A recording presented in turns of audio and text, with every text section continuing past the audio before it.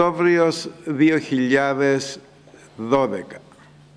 Κλείνουμε ακριβώς 10 χρόνια σήμερα από την ημέρα που το Πανεπιστήμιο Κύπρου σε συνεργασία με την Ελληνική Κυπριακή Αδερφότητα αποφάσισαν να οργανώσουν τις εκλαϊκευμένες διαλέξεις για την ομογένεια του Λονδίνου. Και όπως ξέρετε, το Ελεύθερο Πανεπιστήμιο λειτουργεί σε όλες τις πόλεις της Κύπρου, νομίζω, Λάρνακα, Μπάφο, Λεμεσό. Στο παραλίμνη είχαν τις μεγαλύτερες συγκεντρώσεις, πληροφορούμε, πέραν των 300 ατόμων και ε, το σκαλί Αγλαντζάς συνεχίζει ε, εκεί που άρχισαν τις διαλέξεις πολύ πριν από μας. Ε, με μεγάλη χαρά καλωσορίζουμε απόψε το Λούκα Περικλέους. Το όνομα Λούκας σας λέγει τίποτε; Ευχαριστώ. Είναι του Απόστολου, αλλά σήμερα είναι και η ονομαστική του γιορτή. Να ζήσεις Λουκά Ευχαριστώ. και να τα Ευχαριστώ πάρα πολύ. εκατοστήσεις. Α, Τον καλωσορίζουμε στο Λονδίνο, είναι παλιός γνώριμος από το 2007 μέχρι το 2011 εργαζόταν ως μέλος της Κυπριακής Εκπαιδευτικής Αποστολής σε διάφορα παρικιακά σχολεία. Ε, ο Λουκάς τώρα είναι στο ειδικό εκπαιδευτικό προσωπικό του Πανεπιστημίου Κύπρου στην ιστορική παιδεία και όπως είπαμε εργάστηκε στην Κυπριακή Εκπαιδευτική Αποστολή στο Λονδίνο στο Γραφείο Αναλυτικών Προγραμμάτων του Υπουργείου Παιδείας και Πολιτισμού. Είναι κάτοχος πρώτου πτυχίου στις επιστήμες της αγωγής του Πανεπιστημίου Κύπρου και μεταπτυχιακού τίτλου στην ιστορική παιδεία του Πανεπιστημίου του Λονδίνου. Είναι τώρα υποψήφιος διδάκτορας της ιστορικής παιδείας στο Ινστιτούτο Παιδαγωγικών του Πανεπιστημίου του Λονδίνου. Τα ερευνητικά του ενδιαφέροντα σχετίζονται με τη διερεύνηση της ιστορικής κατανόησης παιδιών και ενηλίκων, την ανάπτυξη ιστορικών πλαισίων για οργάνωση της γνώσης περιεχομένου, τη φιλοσοφία της ιστορίας και τον ρόλο της ιστορίας στην εκπαίδευση. Απόψε, ο Λουκάς Περικλέους θα μας μιλήσει για την ιστορι- ιστορική παιδεία μέσα από την ανάπτυξη της ιστορικής σκέψης και της συνείδησης και πώς μπορεί να προσφέρει στην κατανόηση του παρελθόντος αλλά και του παρόντος και του μέλλοντος στο οποίο τα σημερινά παιδιά θα ζήσουν ως πολίτες.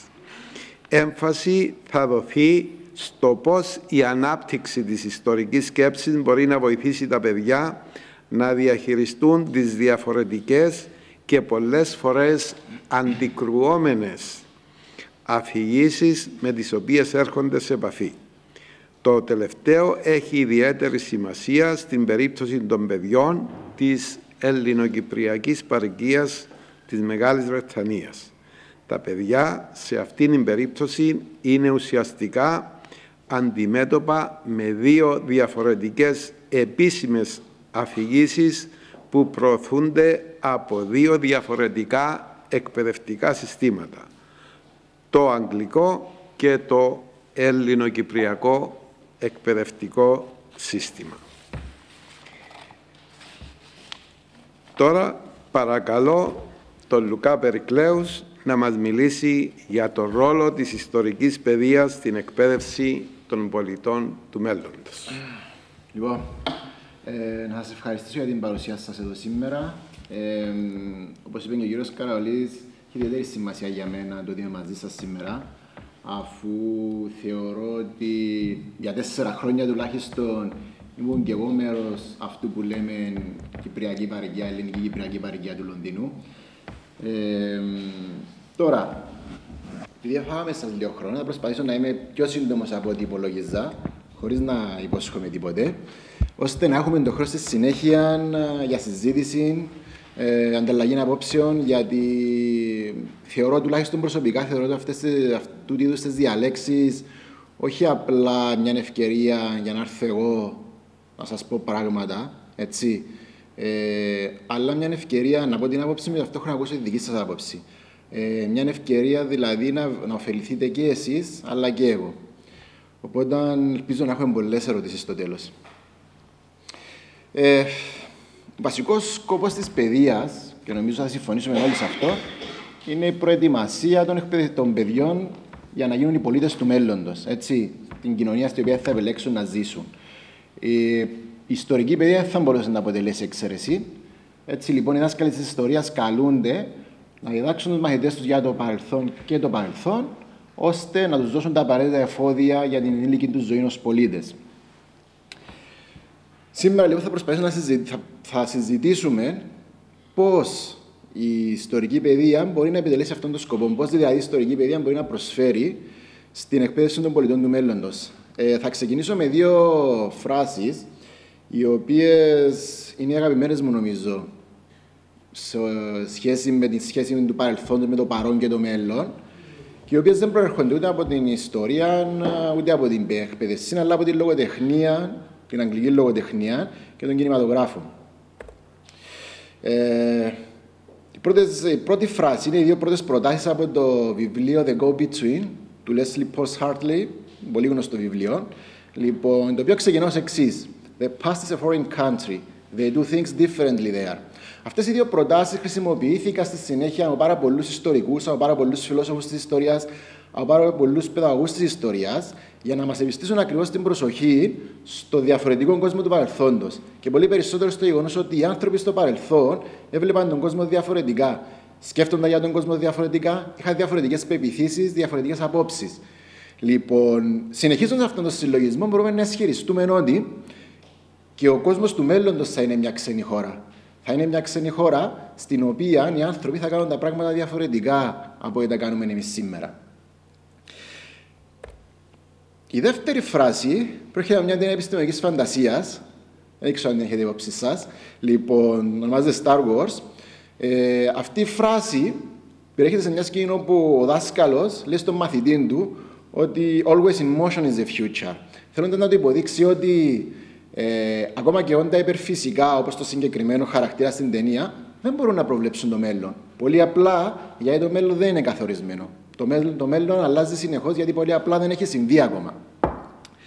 Τι σχέση έχουν αυτά με την ιστορική παιδεία και με την παιδεία γενικότερα; Έχουν να κάνουν με το γεγονός ότι δυστυχώς τα εκπαιδευτικά συστήματα, όταν ισχυριζόμαστε ότι προετοιμάζουμε τα παιδιά μας για τον κόσμο του μέλλοντος, ουσιαστικά έχουμε υπόψη μας μια άλλη εκδοχή του παρόντος. Ουσιαστικά έναν κόσμο τον ίδιο με το δικό μας. Αυτό που δεν λαμβάνουν υπόψη είναι ότι πρώτον ο κόσμος του μέλλοντος θα είναι σίγουρα διαφορετικός από το δικό μας. Και δεύτερον, ότι αυτόν τον κόσμο δεν μπορούμε να τον προβλέψουμε. Άρα, καλούμαστε να διδάξουμε τα παιδιά μας με τρόπο ώστε να τα ετοιμάσουμε να ζήσουν σε έναν κόσμο ο οποίος θα ξέρουμε, ξέρουμε ότι είναι διαφορετικός και δεν ξέρουμε πώς θα είναι διαφορετικός. Έτσι. Λοιπόν, στην, ε, στη βιβλιογραφία της ιστορικής παιδείας έχουμε ε, μια πολύ γνωστή τυπολογία ή κατηγοριοποίηση η οποία προσπαθεί να κατηγοριοποιήσει τις διάφορες εκπαιδευτικές προσεγγίσεις της ιστορίας σε δύο μεγάλες κατηγορίες. Η πρώτη κατηγορία, κάτω Σέισσα, είναι η προσέγγιση της καλύτερης ιστορίας. Αυτή η κατηγορία διδακτικών προσεγγίσεων βασίζεται σε μια άποψη για την ιστορία ως απλά του τι συνέβη και στο παρελθόν.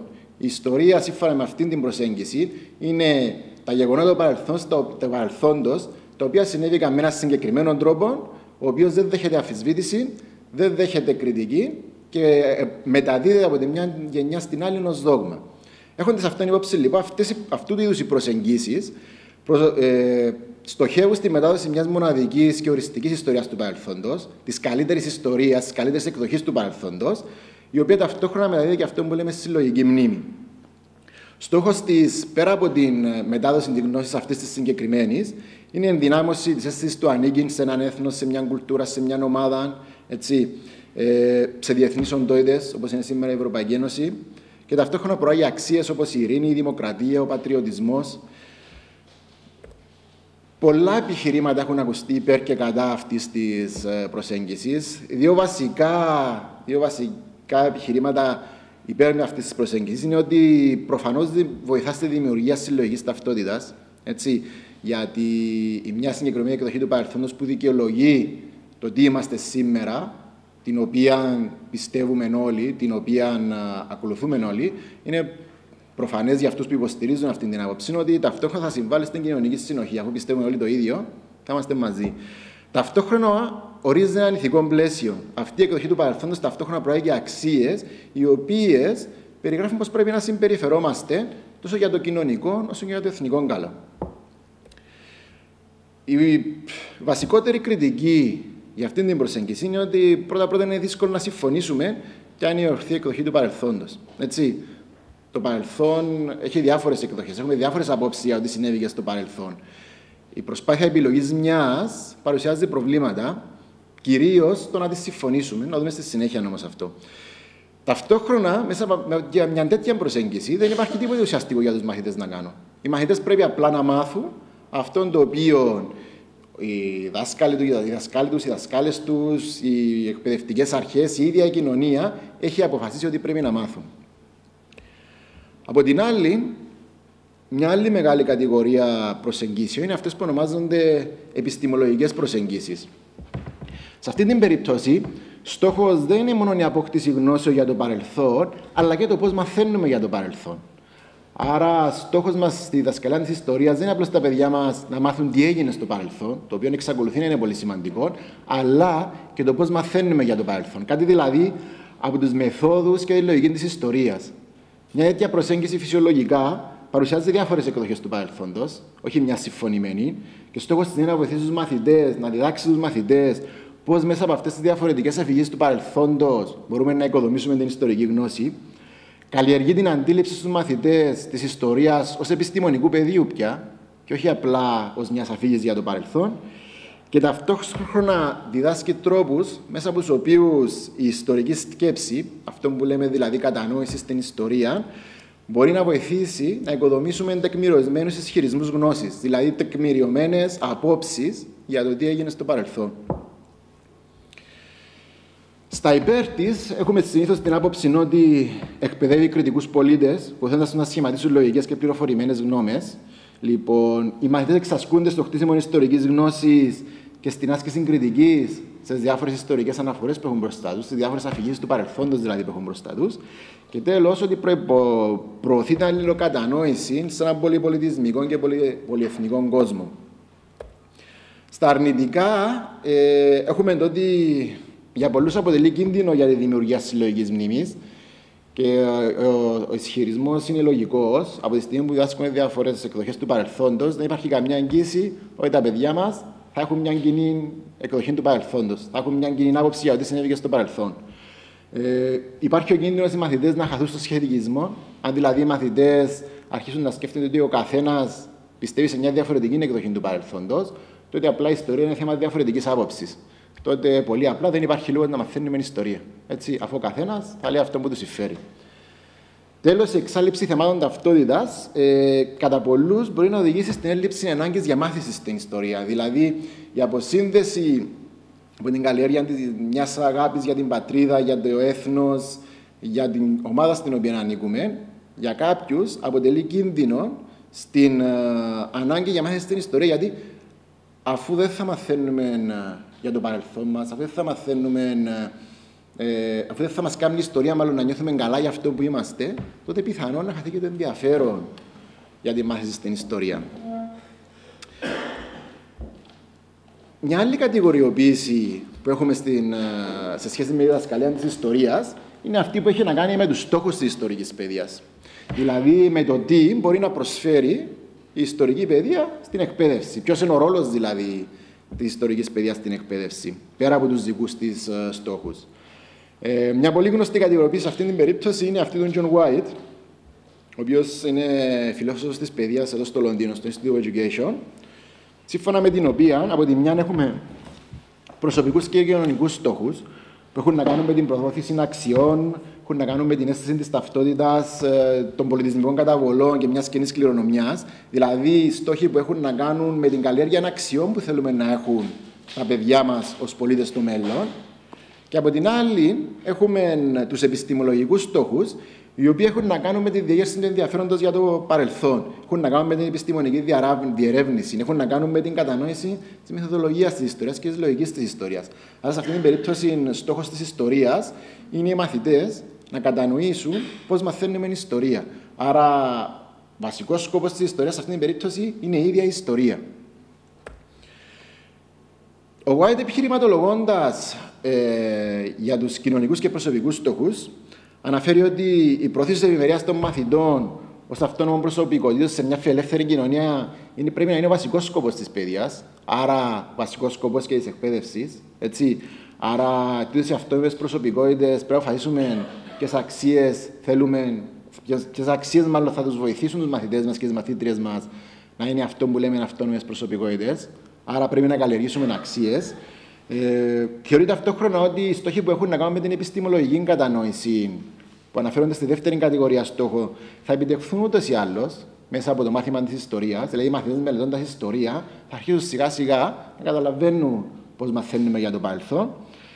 Ε, ενώ ταυτόχρονα θεωρεί ότι η ιστορία από μόνη της δεν μπορεί να μετασχηματίσει τον τρόπο που τα παιδιά βλέπουν τον κόσμο με κάποιον ιδιαίτερο τρόπο. Θεωρεί ότι αυτός είναι ένας γενικότερος σκοπός της παιδεία ότι μέσα από τα διάφορα μαθήματα οι μαθητές θα αρχίσουν να βλέπουν τον κόσμο διαφορετικά και η ιστορία δεν έχει να προσφέρει κάτι ιδιαίτερο.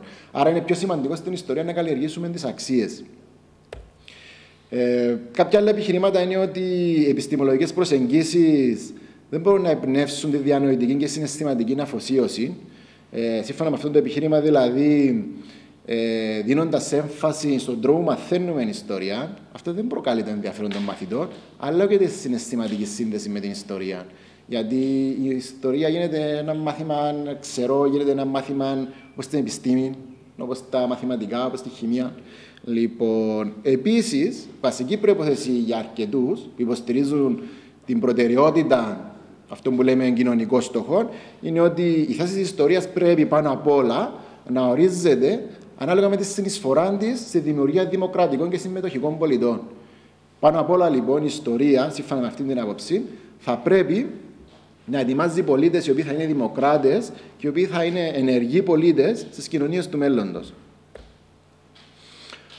Από την άλλη, οι ομάδες, οι ομάδες ε, θεωρητικών της ιστορίας και ερευνητών που υποστηρίζουν ε, την προτεραιότητα των επιστημολογικών στόχων θεωρούν ότι η ιστορία μπορεί να προσφέρει κάτι πολύ σημαντικό και αυτό είναι ο μετασχηματισμός του διαστητικού τρόπου με τον οποίο τα παιδιά αντιλαμβάνονται τον κόσμο σε επιστημονικό. Με άλλα λόγια, τα παιδιά γενικά αντιλαμβάνονται τον κόσμο μέσα από την άμεση τους εμπειρία. Το θέμα είναι ότι οι διάφορες επιστήμες μελετούν τον κόσμο με πολλά εργαλεία τα οποία είναι πέρα από τη διέστηση. Άρα, όπως και οι υπόλοιπες επιστήμες, η ιστορία μπορεί να μετασχηματίσει τον τρόπο που τα παιδιά αντιλαμβάνονται τον κόσμο με τον δικό της τρόπο, ο οποίος έχει να κάνει με τη μελέτη του παρελθόντος. Ε, Επίσης, θεωρούν ότι δεν έχουμε τεκμήρια που να αποδεικνύουν ότι η απλή γνώση του παρελθόντος και η καλλιέργεια αξιών δημιουργεί αυτόνομους πολίτες. Έτσι. Και το επιχείρημα αυτό βασίζεται στο πολύ απλό ότι μέχρι σήμερα παραπονιούμαστε ότι ο κόσμος ψηφίζει με άλλα κριτήρια, για παράδειγμα, πέρα από τα αξιολογικά κριτήρια. Παραπονιούμαστε σε όλες τις χώρες του κόσμου ότι η πολιτική έχει καταντήσει, για παράδειγμα, ένα παιχνίδι εντυπώσεων. Έτσι. Και στο τέλος της ημέρας οι πολίτες ψηφίζουν με οποιοδήποτε άλλο κριτήριο πέρα από αξιοκρατικά, αξιολογικά κριτήρια.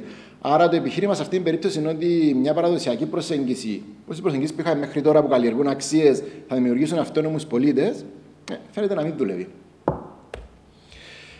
Επίσης, αυτή η έμφαση στην επιστημολογική, στους επιστημολογικούς στόχους, σύμφωνα με τους υποστηρικτές αυτής της προσέγγισης, δίνει ευκαιρία στα παιδιά να αναλύσουν τον κόσμο και, και τη θέση τους σε αυτόν.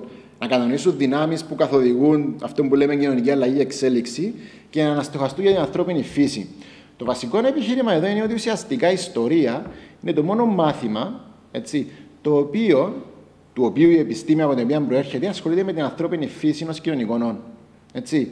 Άρα, έχοντας υπόψη αυτό, τότε μπορούμε να ισχυριστούμε ότι η μάθηση μέσα από τους τρόπους που μαθαίνουν, ε, μέσα από την κατανόηση της ιστορίας και των μεθόδων της, ναι, μπορεί να βοηθήσει σημαντικά στο να καταλάβουν οι μαθητές μας και οι μαθήτριες μας, οι μελλοντικοί μας πολίτες, την ανθρώπινη φύση. Να καταλάβουν τον τρόπο που εξελίσσεται ο κόσμος. Να καταλάβουν πώς γίνονται αλλαγές στον κόσμο, πώς αλλάζουν οι κοινωνίες, πώς εξελίσσονται οι κοινωνίες.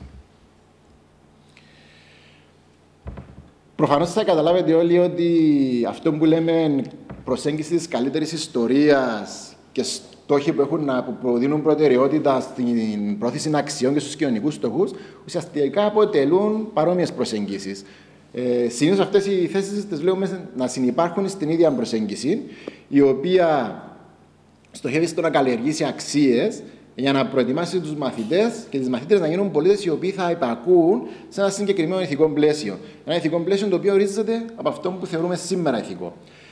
Ταυτόχρονα αυτό προσπαθεί, προσπαθεί να επιτευχθεί, γίνεται προσπάθεια να επιτευχθεί μέσα από μια εκδοχή του παρελθόντος, μια συγκεκριμένη, η οποία αποδεικνύει αυτές τις αξίες. Μια εκδοχή του παρελθόντος, για παράδειγμα, που αποδεικνύει πόσο καλή είναι η δημοκρατία. Μια εκδοχή του παρελθόντος που αποδεικνύει τη σημαντικότητα των εθνών κρατών όπως τα έχουμε σήμερα. Ε, υπάρχουν κάτι που συνήθως συνήθως πολύ στον χώρο της εκπαίδευσης αλλά και στην κοινή γνώμη ε, φαίνεται να, να μην συνειδητοποιούμε πολλές φορές είναι ότι αυτές οι προσεγγίσεις της καλύτερης ιστορίας δεν είναι μόνο οι παραδοσιακές προσεγγίσεις. Δεν είναι δηλαδή προσεγγίσεις με τις οποίες εμείς διδαχτήκαμε ιστορία, οι οποίες είχαν ένα συγκεκριμένο χαρακτήρα, είχαν, ε, έδιναν έμφαση στην ελληνική ιστορία, έδιναν έμφαση στο να μάθουμε μια ιστορία συγκεκριμένη, πώς να τη μάθουμε καλύτερα, να τη θυμόμαστε, να τη λέμε. Έδιναν έμφαση σε κάποιες αξίες όπως η αγάπη για την πατρίδα, η, η αγάπη για τον τόπο. Λοιπόν, υπάρχει η παρεξηγημένη εντύπωση ότι μόνο αυτές αποτελούν ε, προσεγγίσεις καλύτερης ιστορίας. Στην πραγματικότητα, ε, αυτό που ισχυρίζομαι εγώ τουλάχιστον, είναι ότι αυτό που λέμε σήμερα, που βλέπουμε σήμερα συμβαίνει σε πολλές χώρες ως μια προσπάθεια αλλαγής του τρόπου που διδάσκουμε ιστορία με την έννοια να αλλάξουμε την ιστορία που λέγαμε στο παρελθόν. Να το κάνουμε συγκεκριμένο στην περίπτωση της Κύπρου, να φύγουμε από την ελληνική ιστορία, να μην μιλάμε, να μην κάνουμε μόνο ελληνική ιστορία, να μιλήσουμε για την κυπριακή ιστορία. Ε, ή για παράδειγμα, να πούμε για, το, για την καλή συμβίωση που είχαμε με τους Σουκοκύπριου στο παρελθόν. Ε, να πούμε για τα δικά μας τα λάθη. Ε, σε αυτή την περίπτωση ουσιαστικά έχουμε την ίδια προσέγγιση. Έτσι, έχουμε την ίδια προσέγγιση που είναι ε, μια συγκεκριμένη εκδοχή του παρελθόντος, η οποία θα βοηθήσει τα παιδιά μας να καλλιεργήσουν τις αξίες που θέλουμε. Έτσι. Η μόνη διαφορά είναι ότι έχουν διαφορετικό περιεχόμενο. Έτσι. Στην ουσία η προσέγγιση είναι η ίδια. Και αυτό ουσιαστικά ε, αυτή, αυτή η σύγκρουση ανάμεσα στα δύο περιεχόμενα είναι αυτό που δημιούργησε και του μεγάλου πολέμους της ιστορίας. Θα δούμε λίγο στη συνέχεια. Ε, έχουμε ένα πρόβλημα στην περίπτωση της καλύτερης ιστορίας. Όπως είπα πριν, η επιλογή της καλύτερης ιστορίας. Ποια είναι η καλύτερη ιστορία που πρέπει να δάξουμε τους μαθητές μας; Στην Κύπρο δεν συμφωνούμε ποια είναι η ιστορία που πρέπει να δάξουμε στου μαθητέ μας. Και κατά καιρούς έχουμε συζητήσεις. Τούτο πρέπει να μπει με στα βιβλία. Τούτο δεν πρέπει να μπει με στα βιβλία. Πρέπει να λέμε τούτο μες στα βιβλία. Πρέπει να λέμε το άλλο μες στα βιβλία. Είναι προφανές ότι δεν μπορεί μια κοινωνία να συμφωνήσει σε μια εκδοχή του παρελθόντος. Αυτό λοιπόν που αποτελεί αυτό που είπαμε τη μεγάλη αντιπαράθεση ανάμεσα στις διάφορες ομάδες όταν συζητούν για τη διδασκαλία της ιστορίας, είναι ουσιαστικά αντιπαράθεση δύο διαφορετικών ιστοριών, οι οποίες με τον τρόπο με τον οποίο τις προσεγγίζουμε απλά δεν μπορούν να συνεπάρξουν. Ένα κλασικό παράδειγμα ε, από την περίπτωση της Κύπρου είναι ο μεγαλύτερος, η μεγαλύτερη ίσως συζήτηση που έγινε τα τελευταία χρόνια για τη διδασκαλία της ιστορίας. Είχε να κάνει με, δύο σχολικά, με ένα σχολικό εγχειρίδιο, μάλλον, το οποίο είχε ε, εισαχθεί στα σχολεία της Κύπρου και χρησιμοποιήθηκε για ένα χρόνο περίπου, το 2006-2007. Ήταν το σχολικό χειρίδιο το οποίο ονομάσε η συγγραφική ομάδα της Μαρίας της Ρεπούση. Ε, το εγχειρίδιο το οποίο θεωρητικά αποτελεί την απάντηση σε αυτό το εγχειρίδιο του 2006 είναι το νέο σχολικό εγχειρίδιο που έχουμε ε, στα σχολεία στην Κύπρο και στην Ελλάδα, το οποίο ετοιμάστηκε από την ομάδα του Ιωάννη του Κολιόπουλου. Ε, και γύρω από αυτήν την. Ε, γύρω από το πρώτο ειδικά χειρίδιο έγινε ένας μεγάλος πόλεμος στη Ελλάδα και στην Κύπρο. Δεν ξέρω, δεν ξέρω αν το έχετε υπόψη σας. Ήταν μια μεγάλη συζήτηση αν πρέπει αυτό το βιβλίο να χρησιμοποιηθεί. Αυτό το βιβλίο παρουσιάζει τα πράγματα διαφορετικά. Αυτό το βιβλίο παραχαράσσει την ιστορία. Και έχουμε την απάντηση με το βιβλίο του 2012, το οποίο ναι, λέει μια διαφορετική ιστορία. Το οποίο ε, περιγράφει τα πράγματα τελείως διαφορετικά από ό,τι περιγράφει το βιβλίο του 2006 Στην ουσία όμως, τα βιβλία είναι ακριβώς ίδια στον τρόπο που προσεγγίζουν την ιστορία. Και στις δύο περιπτώσεις, τα δύο αυτά εγχειρίδια προσεγγίζουν την ιστορία ως απλά την εκδοχή του παρελθόντος που πρέπει να βγουν των παιδιών μας. Μια εκδοχή του παρελθόντος η οποία προφανώς εξυπηρετεί τις αξίες και τις απόψεις συγκεκριμένων διαφορετικών ομάδων. Άρα έχουμε ουσιαστικά σε αυτόν τον μεγάλο πόλεμο που έγινε στην Κύπρο, όχι έναν πόλεμο για την προσέγγιση της ιστορίας, για τον τρόπο που διδάσκουμε ιστορία, αλλά έναν πόλεμο ουσιαστικά που είχε να κάνει με το ποια ιστορία θα έχουμε στα παιδιά μας. Ε, μια ψευδέστηση που κυριαρχεί στις κοινωνίες είναι ότι όταν στο τέλος επιλεγεί η καλύτερη ιστορία, ή μάλλον όταν στο τέλος επιβληθεί η μια καλύτερη ιστορία από την ομάδα που είναι πιο ισχυρή προφανώς, ότι τελικά αυτή είναι η εκδοχή που θα πιστεύουν τα παιδιά μας. Ε, οι έρευνες δείχνουν ότι, τα ερευνητικά δεδομένα δεκαετιών δείχνουν ότι αυτό δεν συμβαίνει. Ότι η ιστορία η οποία λέει το σχολείο, η εκδοχή του παρελθόντος η οποία παρουσιάζει το σχολείο, δεν είναι απαραίτητα η εκδοχή την οποία, την οποία πιστεύουν τα παιδιά. Δεν είναι δηλαδή απαραίτητα η εκδοχή την οποία υιοθετούν τα παιδιά. Ε, ένα πολύ κλασικό παράδειγμα είναι οι έρευνα που έγινε, έρευνες που έγιναν στην ε, πρώην Σοβιετική Ένωση όταν ε, μελετήθηκαν οι αφηγήσεις παιδιών κατά τον καιρό τα παιδιών τα οποία μάλλον είχαν ε, ακολουθήσει την εκπαίδευση κατά τον καιρό της Σοβιετικής Ένωσης. Όπου είχαμε μια πολύ συγκεκριμένη ιστορία, συγκεκριμένη εκδοχή του παρελθόντος. Μια εκδοχή του παρελθόντος η οποία όχι μόνο προωθούνταν και επιβαλλόταν μέσα από την ε, επίσημη εκπαίδευση, αλλά και μέσα από τα μέσα επικοινωνίας, ραδιόφωνα, εφημερίδες, ήταν όλα λεχόμενα. Είχαμε παντού την ίδια εκδοχή. Και όμως η έρευνα δείχνει ότι ακόμα και σε αυτή την περίπτωση αυτού του ολοκληρωτικού συστήματος, τα παιδιά, στη συνέχεια οι νέοι και ενήλικες, η εκδοχή η οποία υιοθετούσαν δεν ήταν πάντα αυτή του σχολείου. Συνήθως η εκδοχή η οποία υιοθετούσαν ήταν η εκδοχή της οικογένειας τους. Έτσι. Άρα η ψευδέστηση ότι όποια, όποια εκδοχή του παρελθόντος επικρατήσει σε αυτούς τους πολέμους της ιστορίας ή όποια εκδοχή του παρελθόντος καταφέρει να μπει μες στα βιβλία είναι η εκδοχή η οποία θα αγκαλιαστεί από την κοινωνία, από την έρευνα αλλά και από, το, από την καθημερινή εμπειρία, δείχνει ότι είναι απλά μια ψευδέστηση. Το πρόβλημα είναι ότι και σε αυτές τις περιπτώσεις ε, η επιλογή της ιστορίας, η επιλογή της εκδοχής του παρελθόντος που θα υιοθετήσουν τα παιδιά δεν γίνεται με κριτήρια αξιο, αξιολογικά και με κριτήρια που έχουν να κάνουν με την ιστορία, αλλά έχει να κάνει περισσότερο με το ποιος έχει περισσότερη επιρροή πάνω τους. Προφανώς, συνήθως μεγαλύτερη επιρροή στα παιδιά έχει η οικογένεια, άρα τα παιδιά συνήθως υιοθετούν την εκδοχή του παρελθόντος, την οποία υιοθετεί και η οικογένεια τους. Ένα κλασικό παράδειγμα, το οποίο θα ήθελα να συζητήσουμε μετά το τέλος, από τις δικές σας απόψεις, είναι η περίπτωση των παιδιών της Κυπριακής Παραγίας της Μεγάλης Βρετανίας. Από τη μια έχουμε την Ελληνοκυπριακή αφήγηση, είναι αφήγηση που έχουμε στα σχολεία, όπου οι Έλληνες έχουν πρωταγωνιστικό ρόλο και οι κύριοι εχθροί είναι οι Τούρκοι σε δεύτερον πλάνο οι Άγγλοι. Από την άλλη έχουμε τη Βρετανική αφήγηση, στην οποία η Βρετανία εκπολιτίζει τον κόσμο, αντιστέκεται στις ε, υποχθόνιε δυνάμεις του ναζισμού, για παράδειγμα. Και έχουμε και την εμπειρία του στην καθημερινή, στην οποία Άγγλοι, Τούρκοι, Έλληνες συνεπάρχουν. Έτσι. Λοιπόν, θα ήθελα να ακούσω στη συνέχεια με πολύ ενδιαφέρον πώς πιστεύετε ότι επιδρούν τούτες οι αφηγήσεις πάνω στα παιδιά μας; Οπότε αυτό θα συζητήσω τώρα, να φύγουμε στη συνέχεια να δούμε μαζί. Πώς δηλαδή αυτές οι διαφορετικές αφηγήσεις με τις οποίες έρχονται σε επαφή τα παιδιά μας εδώ στο Λονδίνο, διαμορφώνουν τη δική τους εκδοχή του παρελθόντος και διαμορφώνουν και τη συμπεριφορά τους στην κοινωνία στην οποία ζουν.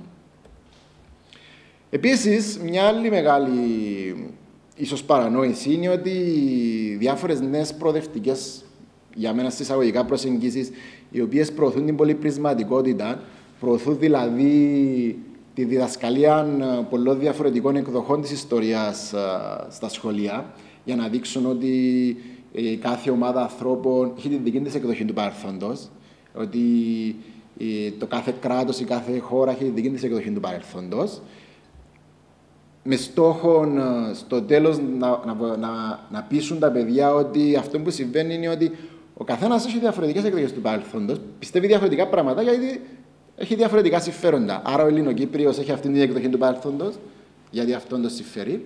Ο Τουρκοκύπριος έχει αυτή την εκδοχή του παρελθόντος, γιατί αυτόν συμφέρει στη συγκεκριμένη περίπτωση. Θεωρούμε, υπάρχει μια ψευδέστηση εδώ ότι ουσιαστικά δίνουμε την ευκαιρία στα παιδιά να έρθουν σε επαφή με, αυτό, με την ουσία της ιστορίας, που είναι ότι δεν έχουμε μια εκδοχή του παρελθόντος, αλλά πολλές εκδοχές του παρελθόντος.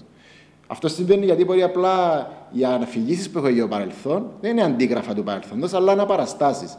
Άρα, από τη στιγμή που είναι αναπαραστάσεις, μπορούμε να έχουμε πολλές διαφορετικές αναπαραστάσεις. Πολλοί θεωρούν ότι αυτό, αυτού του είδους η πολυπρισματικότητα που στοχεύει να δείξει ότι έχουμε όλοι διαφορετικές απόψει, άρα δεν πρέπει να έχουμε διάφορες μεταξύ μας. Απλώς έχουμε διαφορετικές απόψεις. Είναι στην ουσία το ίδιο προβληματική, γιατί στο τέλος της ημέρας, πίσω από αυτήν την παρουσία διαφορετικών αφηγήσεων, κρύβεται μια ιστορία την οποία επιλέγει αυτή η προσέγγιση να υποστηρίζει ότι ε, στο, μπορούμε να ζήσουμε όλοι μαζί χωρίς κανένα πρόβλημα. Δεν υπάρχει περίπτωση να έχουμε προβλήματα μεταξύ μας. Άρα έχουμε μια άλλη αφήγηση του παρελθόντος. Μια επιλογή πάλι μιας πραγματικής ιστορίας που με όρους ιστορικής επιστήμης πάλι είναι προβληματική. Ένα κλασικό παράδειγμα ανιστορικής ιστορικής παιδείας, η οποία προέρχεται μάλιστα από το Συμβούλιο της Ευρώπης, είναι η σύσταση του 2011, όπου σε κάποιο σημείο αναφέρει ότι ένας από τους στόχους της διδασκαλίας της ιστορίας θα πρέπει να είναι η γνώση της ιστορίας των σχέσεων ανάμεσα στις κουλτούρες, στου πολιτισμούς και τους ανθρώπους και για τη συνεισφορά του κάθε διαφορετικού πολιτισμού στην ανάπτυξη και τη βελτίωση και στη δημιουργικότητα των άλλων. Υπάρχει ένα πρόβλημα εδώ όμως ότι η εμπειρία του παρελθόντος δείχνει ότι η σχέση μεταξύ στις διάφορες κουλτούρες, στους διάφορους πολιτισμούς δεν είναι πάντα θετική. Έτσι, ε, η σημερινή εμπειρία της οικονομικής κρίσης δείχνει πολύ και απλά και πάλι ότι τα συμφέροντα των διαφόρων κρατών μελών της Ευρωπαϊκής Ένωσης δεν είναι τα ίδια. Έτσι. Άρα το να ε, βασίζω την ιστορία, τη δασκαλά της ιστορίας, στο να πείσουμε τα παιδιά μας ότι πάνω απ' όλα, ότι το μόνο που υπάρχει μάλλον είναι η ειρηνική συνύπαρξη και η συμφωνία και η αλληλοϊποστήριξη των, των διαφόρων εθνικών ομάδων, των διαφόρων κρατών, είναι ανιστορικό γιατί πολύ απλά αυτό δεν συμβαίνει. Έτσι. Χωρίς το να σημαίνει ότι δεν πρέπει να το επιδιώκουμε. Έτσι. Απλώς το να αποκρύπτουμε το ότι το παρελθόν των ομάδων των ανθρώπων ήταν πάντοτε ειρηνικό, ήταν πάντοτε θέμα κοινού συμφέροντος, δεν έχει να κάνει με το τι είδους αξίες θα προωθήσουμε, αλλά με την ίδια την ιστορία, με την ίδια την επιστήμη της ιστορίας. Πάμε τώρα στο θέμα των αξιών. Ε, σύμφωνα με τις πρώτες προσέγγιση, είπαμε, ο στόχος είναι να καλλιεργήσουμε τις αξίες οι οποίες θα είναι χρήσιμες για το μέλλον. Εδώ και πάλι υπάρχει ένα πρόβλημα, ότι ούτε για τις αξίες δεν μπορούμε να συμφωνήσουμε. Έτσι. Ε, σε κάθε κοινωνία έχουμε διαφορετικές αξίες οι οποίες προωθούνται από τις διάφορες κοινωνικές ομάδες. Ε, ένα κλασικό παράδειγμα είναι το θέμα της εθνικής ταυτότητας. Στην Κύπρο, για παράδειγμα, η εθνική ταυτότητα, παρόλο που κατέχει κεντρικό ρόλο στα αναλυτικά, κατήχε μάλλον ανέκαθεν και κατέχει ακόμα κεντρικό ρόλο στα αναλυτικά προγράμματα, το περιεχόμενο της είναι, είναι θέμα διαφωνίας. Στην Κύπρο, διάφορες πολιτικές ομάδες, για παράδειγμα, άρα ταυτόχρονα και κοινωνικές ομάδες, έχουν διαφορετική άποψη για το ποια είναι εθνική ταυτότητα ή αν θα πρέπει να έχουν εθνική ταυτότητα τα παιδιά μας. Ε, ταυτόχρονα οι έννοιες εθνικής ταυτότητας ως απλά αξία για προώθηση, αξία για, στην οποία πρέπει να υποτασσόμαστε, δεν λαμβάνει υπόψη το γεγονός ότι τα σύγχρονα κράτη δεν είναι μόνο εθνικά. Έτσι. Έχουμε ανθρώπους από διάφορε κουλτούρες και εθνικότητες στα σύγχρονα κράτη. Οπότε, με το απλό παράδειγμα, βλέπουμε ότι ακόμα και για τις αξίες δύσκολο να συμφωνήσουμε. Άρα το θέμα στο τέλος της ημέρας, ποιε αξίε διδάσκουμε στα παιδιά μας; Τις αξίες τις οποίες θα υποστηρίζει η ομάδα η οποία θα επιβληθεί; Άρα σε κάποια φάση ε, μια κοινωνική ομάδα, μια πολιτική ιδεολογία, μια, ένα ρεύμα τέλος πάντων αποκτήσει μεγαλύτερη ισχύ σε μια κοινωνία, τότε αλλάζει το ότι πρέπει να ξέρουν οι μαθητές μα για το παρελθόν. Τότε αλλάζουν οι σημαντικές αξίες, οι σημαντικές πανθρώπινες αξίες. Α θεωρήσουμε ότι αποφασίσαμε, συμφωνήσαμε, ότι συμφωνούμε για το ποιες αξίες θέλουμε να καλλιεργήσουμε. Και συμβαίνει σε κάποιες περιπτώσεις αυτό. Σε κάποιες περιπτώσεις έχουμε, έχουμε συμφωνία για το ποιες αξίες πρέπει να προωθούμε μέσα από τη διδασκαλία της ιστορίας και μέσα από την εκπαίδευση γενικότερα. Εδώ προκύπτει ένα άλλο πρόβλημα. Οι αξίες οι οποίες καλλιεργούμε σήμερα θα έχουν την ίδια σημασία στο μέλλον. Οι αξίες που καλλιεργούμε σήμερα θα είναι επιθυμητές και στο μέλλον, θα, θέλουν και στο, θα έχουν και στο μέλλον αξία, θα είναι σημαντικές και στο μέλλον. Ε, η μόνη αληθινή ιστορία που μπορούμε να πω για το παρελθόν, προσωπικά τουλάχιστον στη δική μου την αντίληψη, η μόνιμα, η μοναδική, η αληθινή ιστορία του παρελθόντος είναι ότι οι άνθρωποι δεν κατάφεραν ποτέ να προβλέψουν το μέλλον τους με ακρίβεια. Άρα, τι μας κάνει να ισχυριζόμαστε ότι μπορούμε να προβλέψουμε τις αξίες που θα χρειαστούν τα παιδιά μας να έχουν στο μέλλον; Τούτο το πρακτικό παρελθόν που ουσιαστικά διδάσκουμε για να καλλιεργήσουμε αξίες του σήμερα, όταν περάσουν τα χρόνια θα γίνει άχρηστο. Γιατί πολύ απλά αυτές οι αξίες μπορεί να, μπορεί να μην ισχύουν στο μέλλον. Για παράδειγμα, τώρα με την ιδέα της Ευρωπαϊκής Ενοποίησης. Για χρόνια, τα τελευταία δέκα χρόνια τουλάχιστον, στα διάφορα εκπαιδευτικά συστήματα στην Ευρωπαϊκή Ένωση, βασική αξία είναι η Ευρωπαϊκή Ενοποίηση. Η, η αξία της Ευρώπης, της μεγάλης Ευρώπης, της Ευρώπης των λαών. Σήμερα όμως λέμε ότι σε διάφορες σε διάφορες ε, χώρες έχουμε ε, σοβαρά κινήματα που μιλούν για έξοδο από την Ευρώπη. Άρα σε αυτές τις κοινωνίες, τα παιδιά τα οποία τόσο καιρό τους λέγαμε ότι η μεγάλη αξία η Ευρώπη πάνω από όλα η Ευρωπαϊκή Ένωση, τι θα τους λέμε μετά από δύο-τρία χρόνια, αν αυτή η χώρα φύγει από την Ευρωπαϊκή Ένωση; Έτσι. Λοιπόν, το θέμα εδώ δεν είναι ε, τι αξίες πιστεύουμε εμείς σήμερα ή αν πιστεύουμε για παράδειγμα πόσο σημαντική είναι η ιδέα της Ευρώπης ή όχι. Το θέμα είναι αυτή η αξία στο μέλλον θα, θα, έχει, θα έχει σημασία; Στο μέλλον θα είναι θεμητή; Λοιπόν, για ένα, ένα πιο, πιο απλό παράδειγμα, πιο, πιο ξεκαθαρό παράδειγμα, η ιδέα της μοναρχίας. Για πολλά χρόνια στα εκπαιδευτικά συστήματα καλλιεργεί τον η, η ιδέα της ε, πακοή των βασιλιάς, των μονάρχης, τη βασίλισσα, ε, της τιμής προς τις βασιλικές οικογένειες, την αξία των φωτισμένων μοναρχών. Μετά με τη δημοκρατία τι έγινε, σταμάτησε να υπάρχει αυτή η αξία; Ναι, αλλάξαν οι αξίες. Τον καιρό όμως που δάσκαμε στα σχολεία, που στα σχολεία προωθούσαμε την αξία της μοναρχίας, έτσι, θεωρούσαμε ότι ήταν σημαντική. Σήμερα βλέπουμε ότι άλλαξαν αυτή η αξία, δεν υπάρχει πια.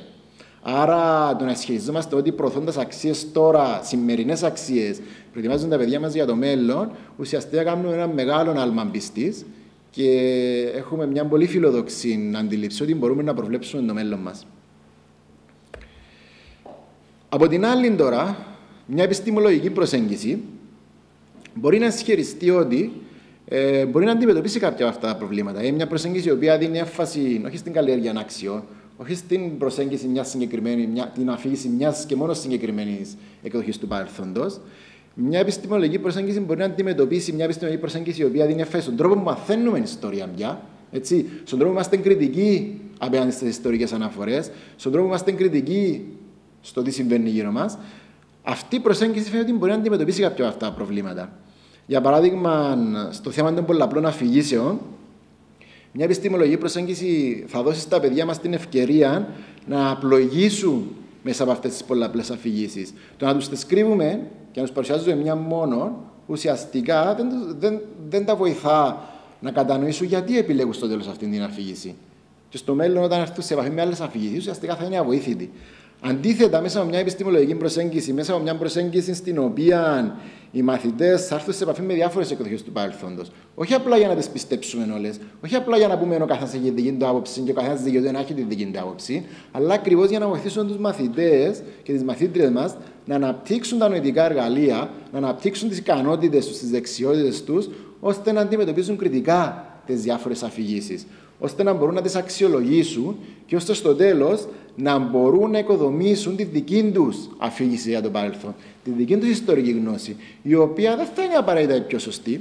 Έτσι, γιατί στην ιστορία τουλάχιστον, αν όχι και σε πολλές άλλες επιστήμες, πολύ λίγοι τολμούμε να πούμε ότι έχουμε, έχουμε, έχουμε βρει την απόλυτη αλήθεια ή έχουμε ε, χτίσει την απόλυτη και σωστή ιστορική αφήγηση. Άρα ούτε, ούτε και τα παιδιά μας μάλλον θα μπορούν να σχέσουν αυτό το πράγμα, αλλά τουλάχιστον, και αυτό είναι στο καλύτερο, το, το καλύτερο στο οποίο μπορούμε να στοχεύουμε, αυτά τα παιδιά θα ξέρουν γιατί πιστεύουν την αφήγηση που υιοθετούν.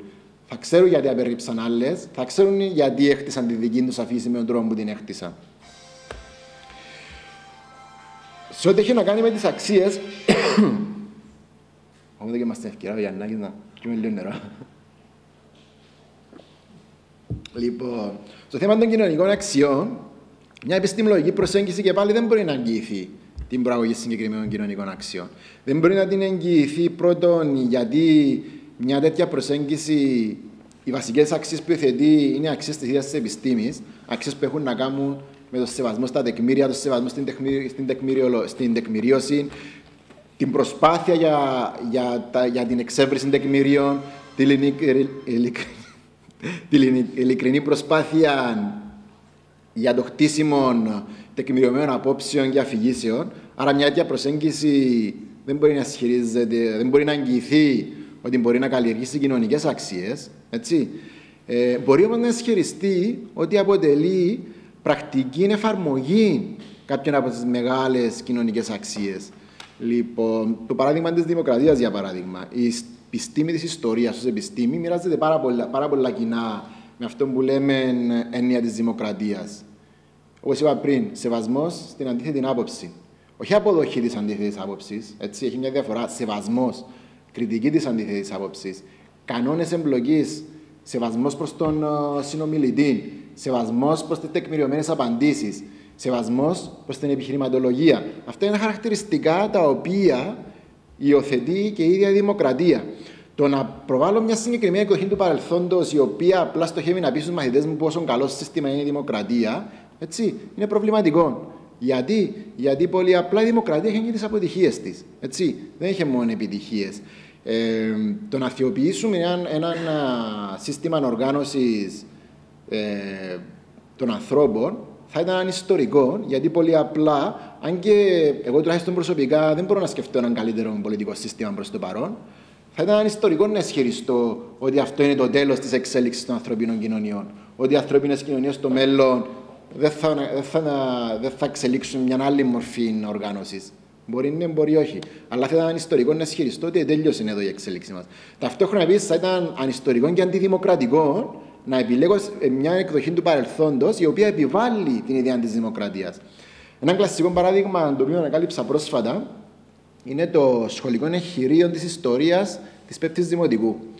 Στο κεφάλαιο το οποίο αναφέρεται στην περίοδο της ακμής της Ρωμαϊκής Αυτοκρατορίας, που ήταν, θεωρούμε ότι ήταν η περίοδος που ξεκινά με την uh, Οκταβιανόν Αύγουστο, έτσι. Ήταν η εποχή της Pax Romana, λοιπόν, όταν η, Ρώμη είχε η αυτοκρατορία της Ρώμης είχε φτάσει στην ακμή της. Λοιπόν, στο συγκεκριμένο μάθημα, ε, όταν απαριθμούνται οι παράγοντες οι οποίοι οδήγησαν σε αυτήν την ακμή, ο πρώτος είναι, λοιπόν, ε, οι Ρωμαίοι πολίτες επέλεξαν τον πρώτον πολίτη και τον ονόμασαν αυτοκράτορα. Έτσι, λοιπόν, ε, Προφανή, προφανής η σύγκρουση εδώ, έτσι.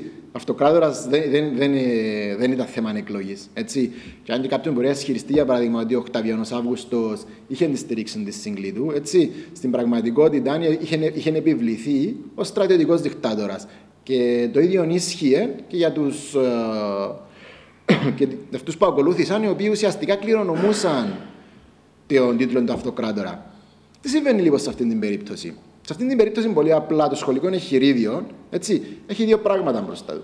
Έχει το θεσμό της μοναρχίας, έτσι, λοιπόν, και μια, την επιτυχία, μια, την ακμή, ίσως της μεγαλύτερης αυτοκρατορίας που γνώρισε ο πλανήτης.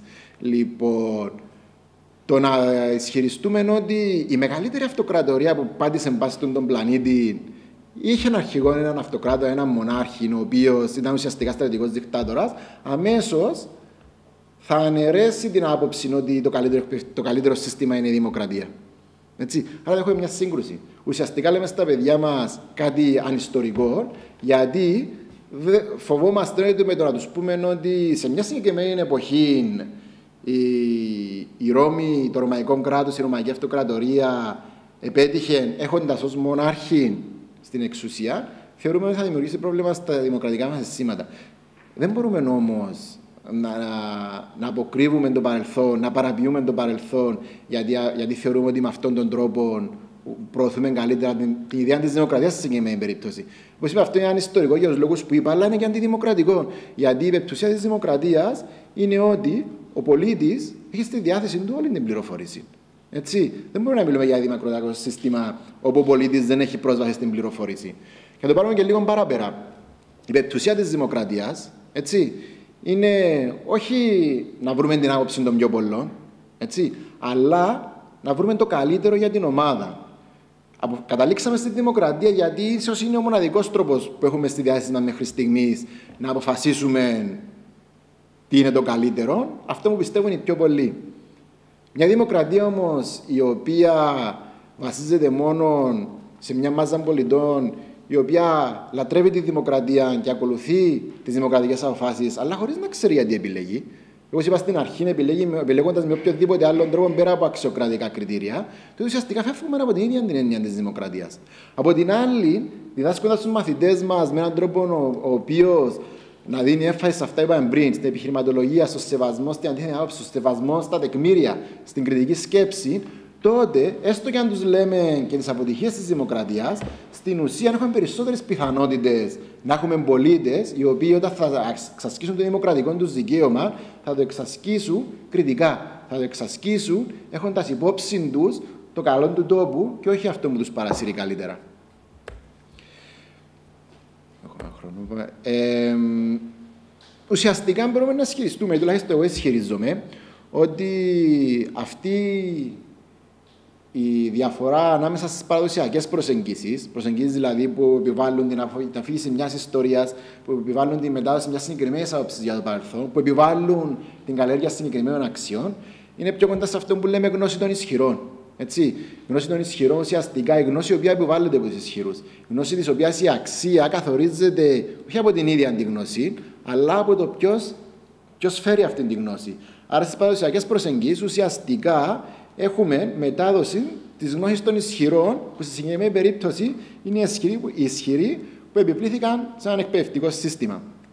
Από την άλλη, θεωρώ ότι οι επιστημολογικές προσεγγίσεις, προσεγγίσεις δηλαδή όπου στόχος μας είναι να βοηθήσουν τους μαθητές μέσα από την επιστήμη της ιστορίας και τις μεθόδους της ιστορίας να κατανοήσουν τον κόσμο, είναι μια προσέγγιση ισχυρής γνώσης.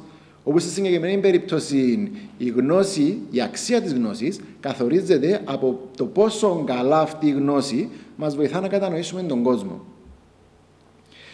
Ολοκληρώνοντας, ε, ισχυρίζομαι, θα ήθελα να το συζητήσουμε στη συνέχεια, ότι η μάθηση στην ιστορία με στόχο μας, με σκοπό μας την πρόθεση απλά κοινωνικών στόχων, ε, περιέχει σοβαρούς κινδύνους σε σχέση με την ιστορική αυθεντικότητα Ταυτόχρονα παρουσιάζει προβλήματα που έχουν να κάνουν με την επιλογή της καλύτερης ιστορίας και την επιλογή των αξιών που πρέπει να καλλιεργηθούν. Και το πρόβλημα εδώ δεν είναι η ίδια της επιλογής. Είναι καλό να έχουμε επιλογές. Το πρόβλημα εδώ είναι ότι δεν μπορούμε να συμφωνήσουμε. Και η συμφωνία στο τέλος δεν είναι, δεν είναι αποτέλεσμα συμφωνίας, αλλά αποτέλεσμα επιβολής. Λοιπόν, και τέλος, ε, το προφανές ότι όποια ιστορία να επιλέξουμε, ποιε αξίε και να επιλέξουμε, δεν είμαστε σίγουροι ότι θα έχουν την ίδια σημασία στο μέλλον. Από την άλλη, θεωρώ ότι μια επιστημολογική προσέγγιση της ιστορίας, μια προσέγγιση η οποία στοχεύει στο να βοηθήσει τους μαθητές να κατανοήσουν πώς δουλεύει ο κόσμος, μέσα από κατανοώντας το πώς δουλεύει η ίδια η επιστήμη της ιστορίας, έχει τη δυνατότητα να μετασχηματίσει τον τρόπο με τον οποίο τα παιδιά αντιλαμβάνονται τον κόσμο, έχει τη δυνατότητα να βοηθήσει τα παιδιά να αναπτύξουν τα νοητικά εργαλεία που τους επιτρέπουν να πλοηγήσουμε σε αυτές τις πολλαπλές αφηγήσεις, τις οποίες έστω και αν δεν, δεν αφήσουμε να βγουν στο σχολείο, θα τις συναντήσουν όταν θα βγουν έξω στον κόσμο. Τις συναντούν στο σπίτι τους, στην οικογένειά τους, στους φίλους τους. Άρα είναι υποχρέωση μα να δώσουμε τα εργαλεία να δουλέψουμε αυτές τις αφηγήσεις. Λοιπόν, άρα καταλήγοντας, θεωρώ ότι στόχος της παιδείας δεν είναι να διδάσκουμε τα παιδιά μας τι πρέπει να σκέφτονται για τον κόσμο, αλλά να βοηθήσουμε να αναπτύξουν τα νοητικά εργαλεία για να κατανοήσουν τον κόσμο. Και το πιο σημαντικό είναι να κατανοήσουν τον, τον απρόβλεπτο κόσμο, τον οποίο θα συναντήσουν στο μέλλον, τον οποίο δεν μπορούμε να προβλέψουμε. Ευχαριστώ.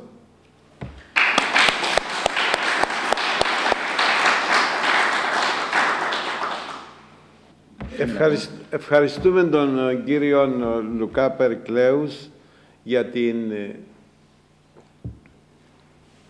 ωραία ανάπτυξη του θέματος, έναν δύσκολο και στριφνό θέμα όπως είναι ο ρόλος της ιστορικής παιδείας στην εκπαίδευση των πολιτών του μέλλοντος με τα πολλά παραδείγματα του, τις επεξηγήσεις του, το έκανε τόσο προσιτό και κατανοητό σε όλους μας και φεύγουμε όλοι με νέες ιδέες και ελπίζουμε ότι θα συμβάλλουμε και εμείς ούτως ώστε ε, να εκπαιδευτούν καταλήλως οι νεότερες γενναίες ώστε να συμβάλλουν στο καλύτερο μέλλον της πατρίδας μας. Ε, εδώ πρέπει να ευχαριστήσουμε τους φίλους χορηγούς επικοινωνίας οι οποίοι πάντοτε είναι μαζί μας τόσο πριν από τις διαλέξεις του Πανεπιστημίου όσο και μετά το τηλεοπτικό σταθμό Hellenic TV το ελληνικό ραδιοσταθμό Λονδίνου LGR, τις εφημερίδες Παρικιακή και Ελευθερία, το ΡΙΚ και το ΚΙΠΕ, όπως και την εφημερίδα Φιλελεύθερο στην Κύπρο, γιατί προβάλλουν τις εκδηλώσεις μας. Η επόμενη διάλεξη θα γίνει την 5η 22 Νοεμβρίου. Και θα μιλήσει ο καθηγητής της παρικίας μας, ε, ο φίλος Κλέαρχος Κυριακίδης και επέλεξε ένα θέμα ε, λίγο προκλητικό για πολλούς. The prospect of partition in the United Kingdom should Cyprus and its diaspora say όχι; No and thereby help to sustain the union of Scotland with the United Kingdom. Θα συγκρίνει τις προσπάθειες για το δημοψήφισμα για την Σκοτία και τις προσπάθειες για τη διχοτόμηση της Κύπρου. Θα είναι ένα πολύ πολύ ενδιαφέρον θέμα και όπως γνωρίζετε και ήδη ο Κλέαρχος είναι ένας πολύ καλός ερευνητής και ό,τι μιλά πάντοτε το τεκμηριώνει με διάφορα έγγραφα από, την, ε, από το 1878 μέχρι σήμερα. Τις 22 ε, του μηνός λοιπόν εδώ για να ακούσουμε τον κλέαρχο τον Κυριακίδη. Ευχαριστούμε θερμά τον καθηγητή.